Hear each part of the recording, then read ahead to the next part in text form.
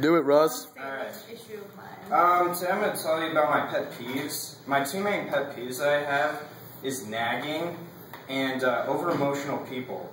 The main part I have about nagging is my parents. And the main thing they've been nagging me about in my life is responsibility. Like, I'm the kind of person that I do what I want when I want. I'm a free person. I like that. and they've been saying, Russell, you need to get a job. Like, get off your ass and get a job. they say that, don't worry. and, um, now this past, from June until December, I did have a job. I worked as a janitor helping them out at the church. And then afterwards, like the next week, they're like, get a job, get a job, get a job. I'm like, leave me alone, I already have money. I don't need a job. But they keep annoying me, so within the past week or so, I got some applications. And then the other thing that my parents always uh, nag me about is cleaning up. And it's always my room and downstairs where I like to hang out with my PS3 and all my games and stuff. And um, it's just so annoying. It's like, Russell, clean up. Russell, why are you leaving the phone away or out of its hook? Russell, do this, do that. I'm like, shut up. and then my next thing is teachers. There aren't really too many teachers that really nag me and annoy me, but there are some that really get under my skin. Like this teacher, Miss Fisher, at the uh, Career Center. She's like 99, going on the verge of death. she has this evil death stare that she gives you. She's like, and oh my gosh, it creeps me out. Like, she has the crankiest voice, and she's just going around scanning the room like, hey, and one day, me and my friend were done with our work. We're just talking. We're like having a good time, listening to music. And she's like, "Why are you doing work?" I'm like, "Oh my god, leave me alone!" and she's, oh my god. And then like all the other kids that aren't done their work, they're just talking and goofing around. She's like, "Sit down, shut up. You're all going to the office." And she literally sent like six kids to the office that day. And oh, it was it was bad. And then my next thing is old people. And the only reason I have uh, problems with old people is because of my church. And church old people are probably some of the worst. I mean, they nag you a lot. And they're like, if you do something bad, they will point it out in an instant. Like, hey, you need to be respectful for your elders. I'm like, good luck with that.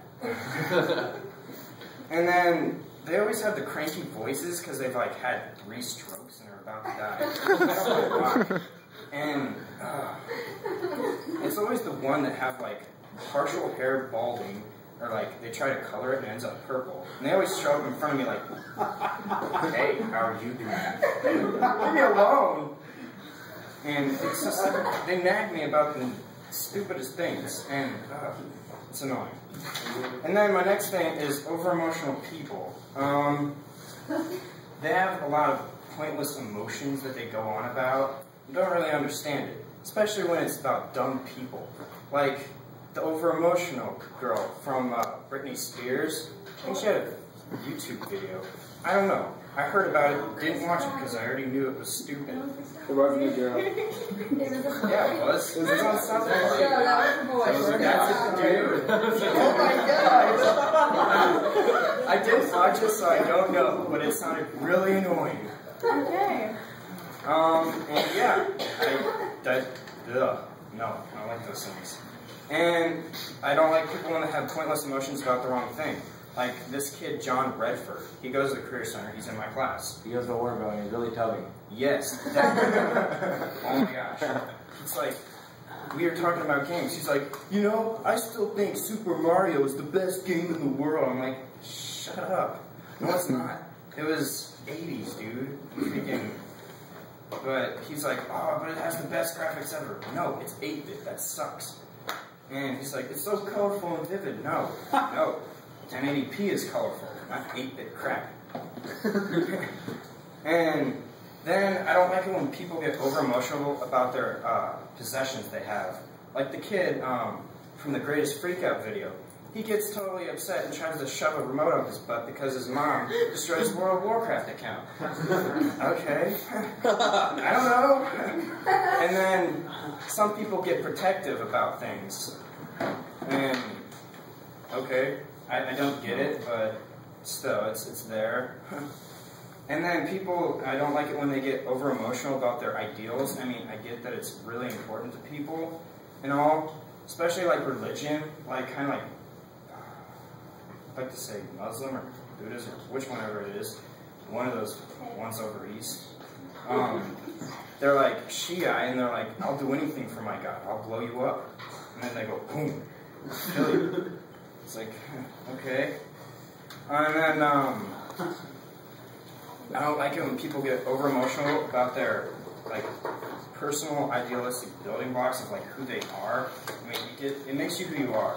But then you just go into so much detail about it. It's like, I get your point. I get what you're getting at. You don't have to say it to me 10 billion times. I have my ideals. Let me be.